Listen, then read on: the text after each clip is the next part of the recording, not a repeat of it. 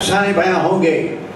हमारी बात महफिलों में अफसाने बयां होंगे। बाहरी हमें ढूंढेंगे, नशाने हम कहा होंगे। लेकिन दोस्तों, हम जहाँ भी जाएँगे, जहाँ भी रहेंगे सदा आपके दिल में रहेंगे। और जब हम दोबारा आपसे मिलेंगे, तब हम आपसे पूछेंगे, कैसे हैं आप? और तब तक, ये गीत हम कलाकारों की आपको याद दिलाता रहेगा। कल खेल में हम हो न हो, गर्दिश में तारे रहेंगे सदा। भूलोगे तुम, भूलेंगे वो, पर हम तुम्हारे रहेंगे सदा। रहेंगे यही दोनों निशा, इसके सिवा जाना कहा? जी चाहे जब हमको आवाज़ दो, हम हैं यही, हम थे जहाँ। जीना यहाँ, मरना यहाँ, इसके सिवा जाना कहाँ? बहुत छोटी उम्र से उनको देखती आ रही हूँ स्टेज पर और हमारे ग्रुप में आ, हमेशा उनकी बातें मैं सुनती आ रही थी चाचा से और मेरे फादर से। हमेशा उनकी कहानियाँ उनका जो कॉन्फिडेंस जैसे आज हमने सुना आ, अफसोस है कि मैं उनके साथ ज़्यादा वक्त नहीं बिता पाई क्योंकि मैंने उनका वो टाइम नहीं देखा जब वो स्टेज पर परफॉर्म करते थे। बट जब भी हमारी माम की मीटिंग्स होती थी मैंने हमेशा उनको बात करते हुए सुना है हमेशा हमें इनक्रेज करते हुए सुना है। तो बुरा लगता है कि हमारे इतने सीनियर आर्टिस्ट आज हमारे बीच नहीं हैं। लेकिन बहुत कुछ सीखने को मिल रहा है। आज भी उनके बारे में बहुत कुछ चीज़ें मुझे पता चली हैं और उनके कॉन्फिडेंस के बारे में, उनके आइटम्स के बारे में तो मैं सुनती ही आ रही थी इतने सालों से। तो यस उनको वो हमेशा हम उनको याद रखेंगे। माधव जी का नाम तो हमेशा हमारे घर में चर्चा में बना रहेगा। तो बस यही है। थैंक यू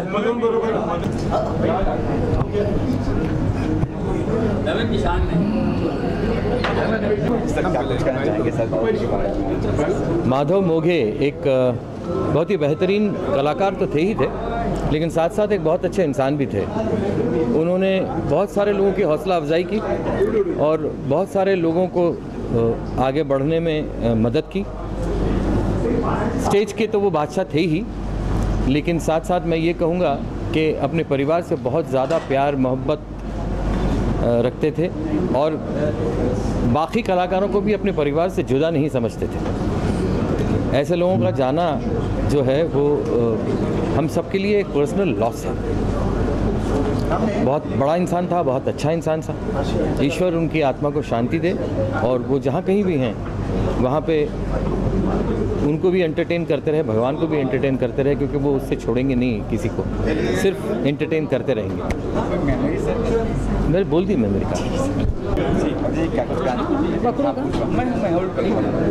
क्या कुछ कहेंगे आज माम मैं माम और सभी मिमिक्री आर्टिस्ट एसोसिएशन की बहुत शुक्रगुजार हूँ कि उन्होंने ये मेमर प्रेयर में ट्रक डैड को ज़िंदा रखा है।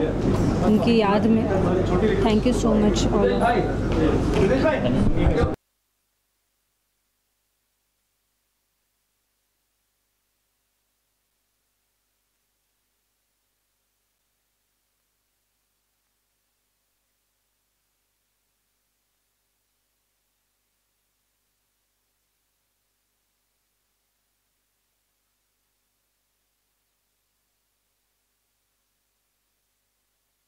में वो बहुत बड़े थे और हम हमेशा मिस करेंगे।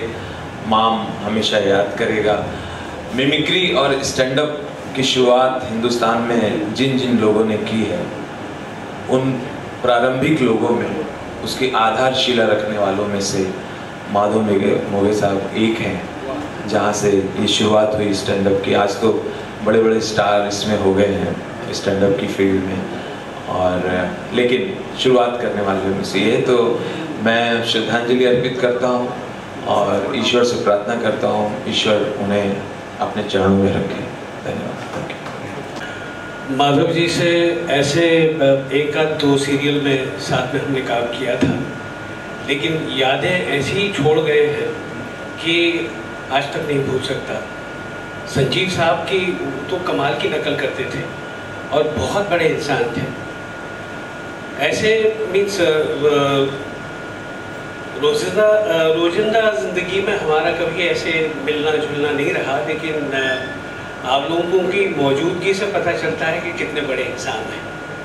और कितने बड़े इंसान थे और क्या क्या कर गए और कितनी खूबसूरत बातें आप लोगों ने हमको बताई।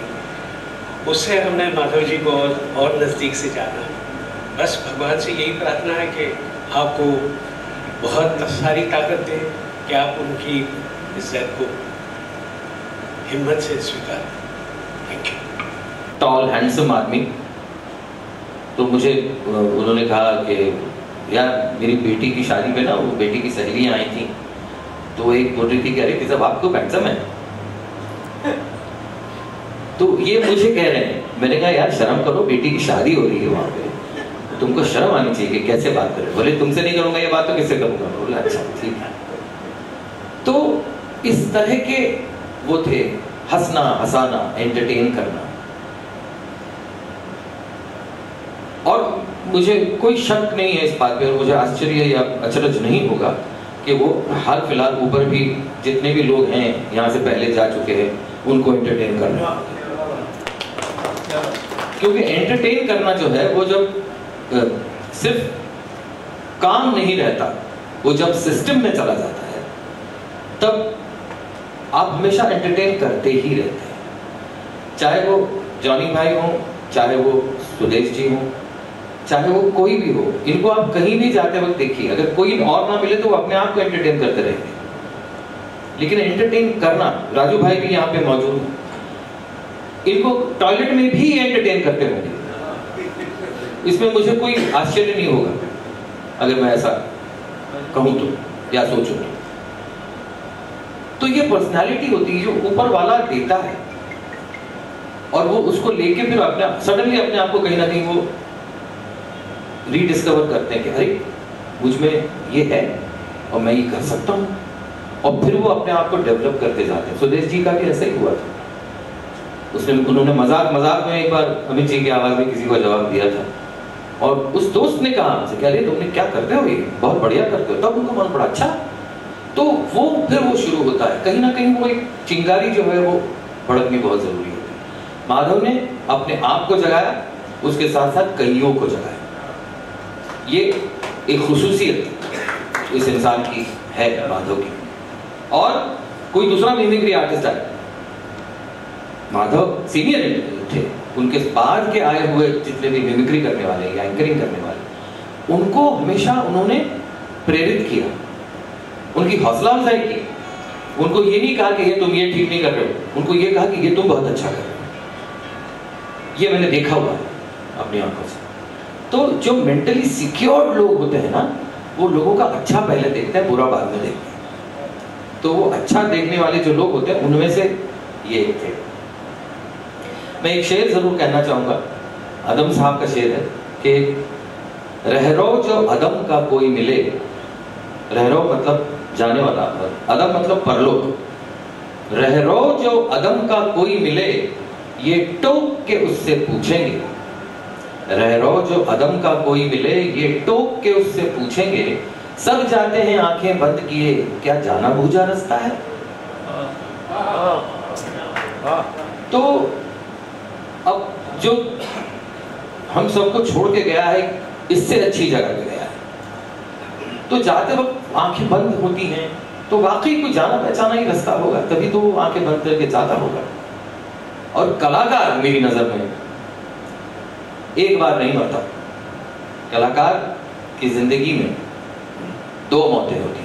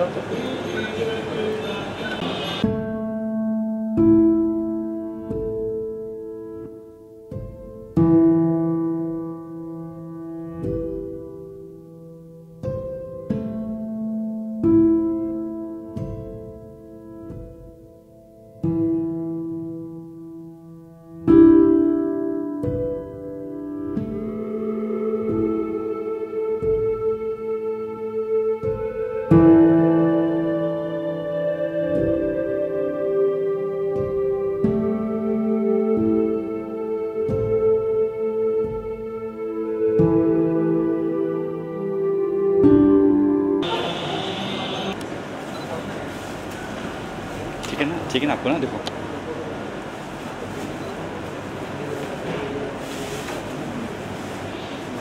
कैंडिडेट नाम में दो बुलाना चाहिए लेकिन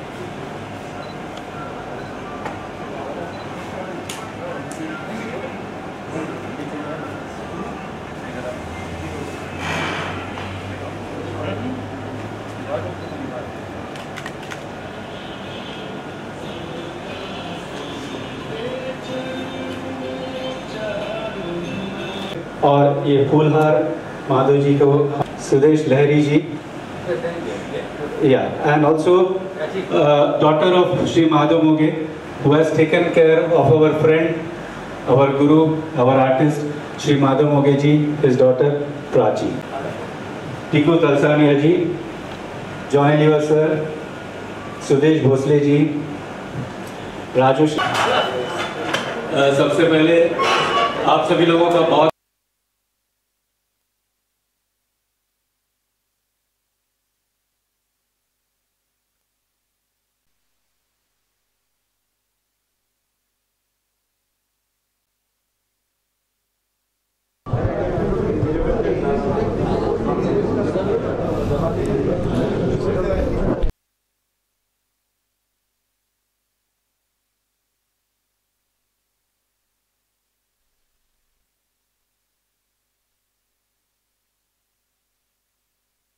Gracias.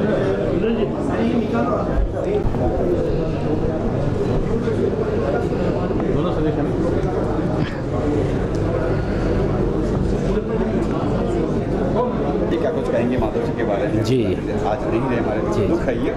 और संजीव कुमार काफ़ी अच्छी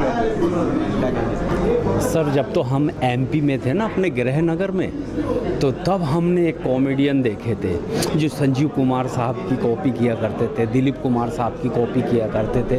वो थे माधव मोगी और जैसे ही मेरा लाफ्टर शो आया तो मैंने एक इंटरनेशनल शो इनके साथ पाँच दिन की यात्रा साथ में की। नवीन प्रभाकर ये और मैं ऑकलैंड गए थे हम लोग। और सह, इस देश में भी गोवा के पास एक शो हुआ था तो हमारे जो सुदेश भोसले जी इनके साथ। बहुत अच्छी बातें करते नसीहत वाली बातें करते हैं। बच्चा समझते थे और वो बताते थे कि यहाँ टिके रहने के लिए क्या करना किसी को बढ़ता हुआ देख के उनके अंदर जलन नहीं थी। सबसे अच्छी बात तो वो ये कहा करते थे, जो मालिक दे रहे हैं नसीब से, उसको स्वीकार करो और अपने काम में लगे रहो। तो ये स्पीड इन्हों से सीखा मैंने। माधव जी को मैं प्रणाम करता हूँ और चार लाइन के साथ उनको श्रद्धांजलि देता हूँ। तिजारत में पाया बड़ी चीज़ है।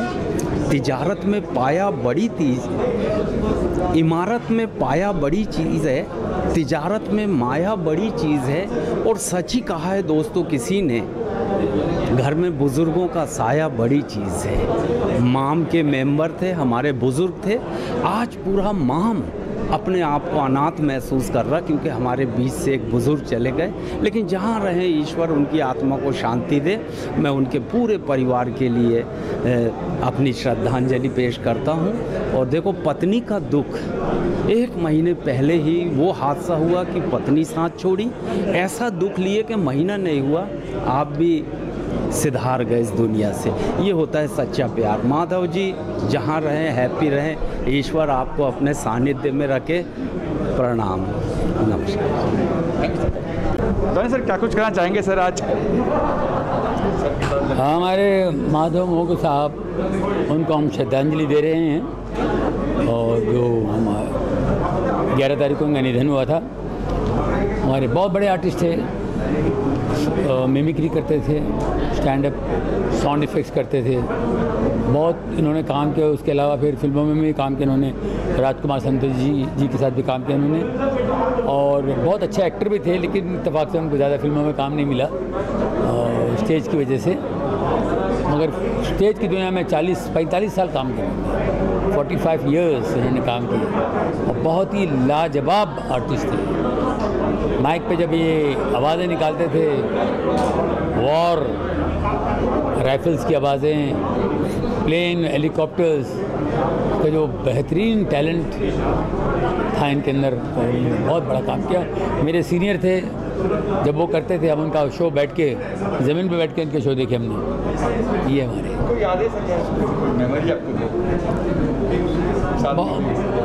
बहुत सारी यादें हैं साथ में हम लोग के एसोसिएशन के सेक्रेटरी थे। हमारा जो ये एसोसिएशन है, माम मिमिक्री आर्टिस्ट ऑफ़ मुंबई तो इसके सेक्रेटरी थे वो मैं प्रेसिडेंट हूँ तो हम लोग हर बार मिलते हैं, घर आना जाना होता है, फिर मीटिंग के सिलसिले में, संस्था की, संस्था में, संस्था की कुछ बातें अक्सर करते थे, लेकिन अभी अचानक उनका जाना हमारे लिए बहुत दुख की बात है। आज इनकी शोक सभा है, सब आए हुए इकट्ठे, सब मोहब्बत करने वाले आ गए हैं।